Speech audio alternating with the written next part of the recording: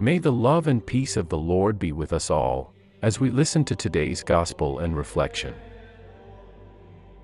Let us now listen to the Word of God.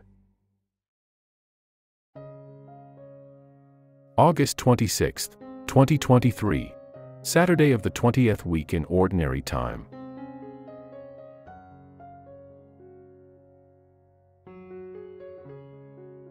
A reading from the Holy Gospel according to Matthew.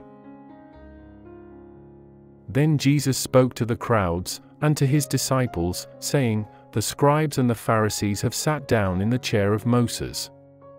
Therefore, all things whatsoever that they shall say to you, observe and do.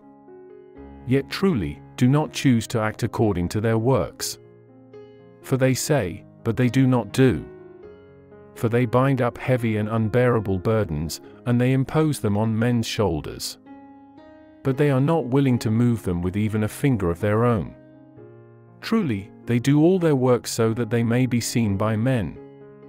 For they enlarge their phylacteries and glorify their hems. And they love the first places at feasts, and the first chairs in the synagogues, and greetings in the marketplace, and to be called master by men. But you must not be called master. For one is your master, and you are all brothers. And do not choose to call anyone on earth your father. For one is your Father, who is in heaven. Neither should you be called teachers. For one is your teacher, the Christ. Whoever is greater among you shall be your minister. But whoever has exalted himself shall be humbled and whoever has humbled himself shall be exalted. The Gospel of the Lord.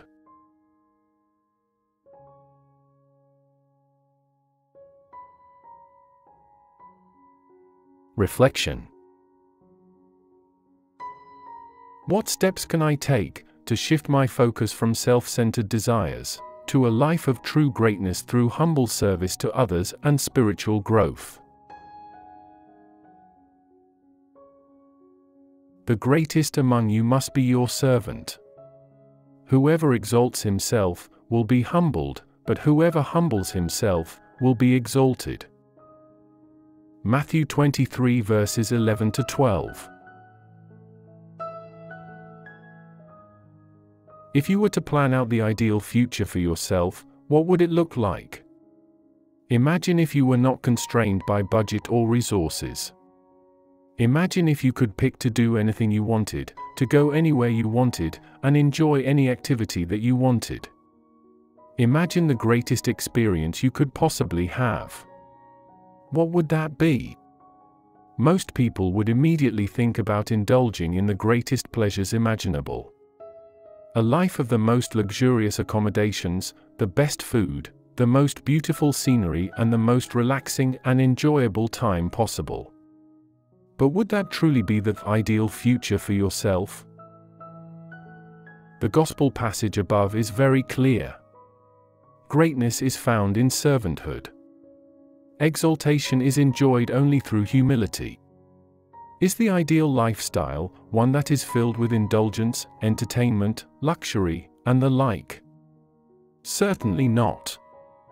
The ideal life, the greatest life, the most exalted life, is the life of the most humble service of others as possible. That's essentially what Jesus tells us in this passage. Do you believe that? Note that Jesus uses the words greatest and must in the same sentence. These two words are both quite definitive. There is no one greater than the greatest, and the path to that greatness requires, without exception, that the greatest be a servant of everyone else.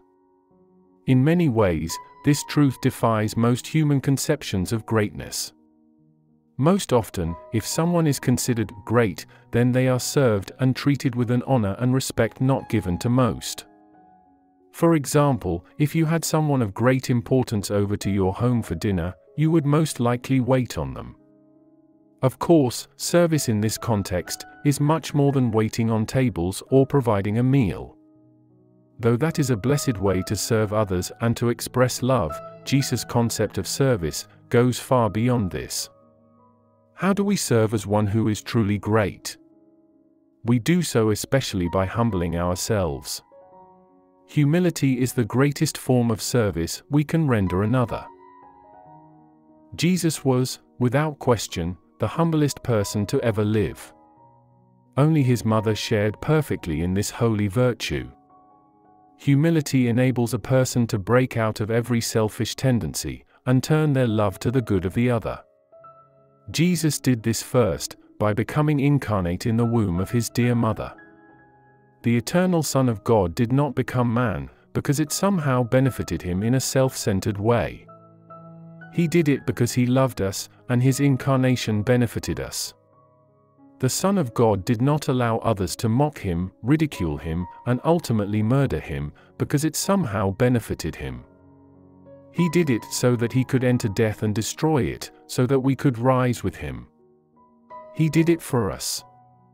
And we could go through every passage of the Gospels and see that everything Jesus did was done for others, and never done out of a selfish desire. This self giving service our Lord offered every day, was a fruit of the incredible humility that he lived. Jesus did everything he did, out of his love for others and with humility, so as to bring salvation and transformation to their eternal souls. In our lives, we need to make a fundamental choice. Am I going to live for myself? Or am I going to live for others? It seems as though very few people live fully for others. It is difficult to take our eyes off ourselves and turn them only to the good of others. But if we realize that living for others is also the path to our own greatness and ultimate exaltation, then it becomes much easier. Serving others, especially in a spiritual way, by which you do all you can to help them grow closer to God, is what will make you great. Nothing else can do so.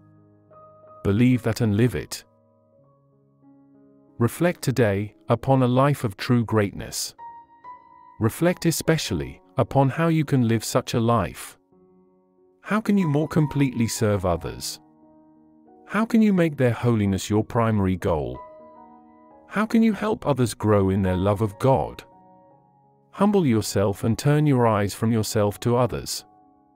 Doing so will make an eternal difference for others, and also for yourself.